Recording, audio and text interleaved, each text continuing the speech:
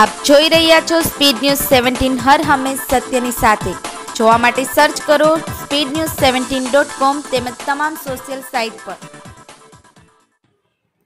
નર્મદામાં ગેરકાયદેસર ચાઇનીઝ દોરીનો જથ્થો ઝડપાયો. તિલકવાડાના દેવલિયા ચોકડી પાસેથી ચાઇનીઝ દોરીના કુલ બસો ને સોળ રીલ, કિંમત રૂપિયા છ્યાસી હજાર છસોના મુદ્દામાલ ઝડપી પાડ્યો.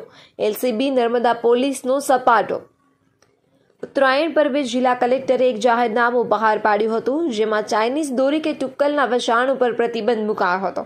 છતાં કેટલાક લેભાગુ વેપારીઓ પ્રતિબંધનું ખુલ્લેઆમ ભંગ કરતા જણાતા હતા.